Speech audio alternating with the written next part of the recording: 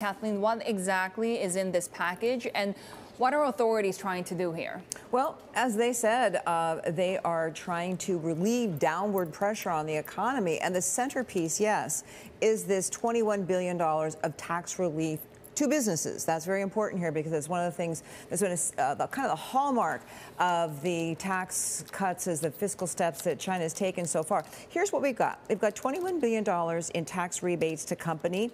Uh, there's 60 billion in yuan on uh, passenger car purchase taxes. That equals about 0.1% of China's GDP, but it's on top, of course, of about $1.5 trillion in tax cuts they've passed uh, so far this year. Uh, another couple of things they're going to do, they're going to double the quota on small and medium-sized business loans so more people can get those. They're going to extend social insurance payments, what we would call social security payments, the amount of time that companies have to pay what they owe to the government. So all those are supposed to provide some relief, and as they said, they're, they are trying to normalize their economy with targeted, forceful, effective steps. This is the uh, China State Council said this. Premier Li Keqiang, of course, is the person who runs that. Again, most of this is going to businesses, not households. Some people are saying maybe we should be sending some checks to consumers. A lot of other countries have done that. So far, none of that is in the works.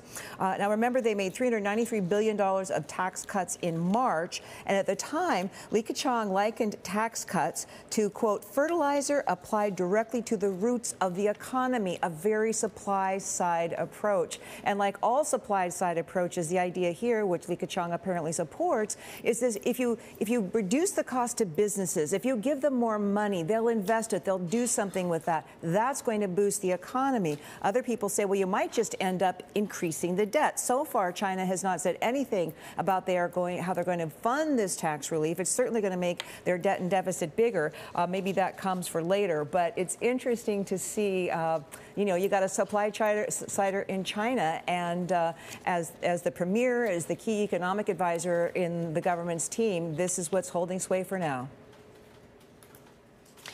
President Biden, of course, opening the door ajar to removing US tariffs on China. How wide is that opening? We have kind of heard overtures to this effect before.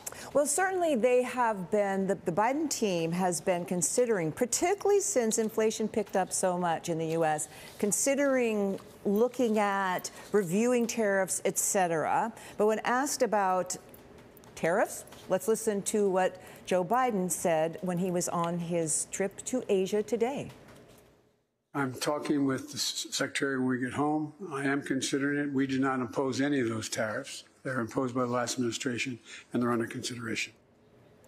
And of course, the secretary is going to talk to is Treasury Secretary Janet Yellen. She is the person who, along with Biden and his team, would figure out what to do next. Uh, and of course, the thing about rolling back tariffs is it would be great for China potentially. The yuan had quite a jump when this news came out uh, overnight in the U.S., uh, late in the day yesterday in Asia.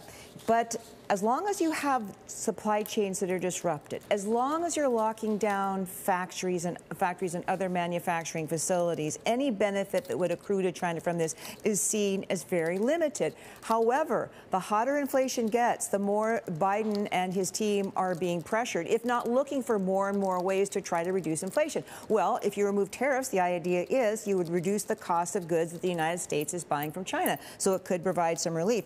On the other side of the political coin, Heidi, of course. The November midterm elections are approaching, and uh, advisors to the president don't want him to look soft on China, quote unquote, at a time when the margin between Republicans and Democrats going into these midterms looks so slim.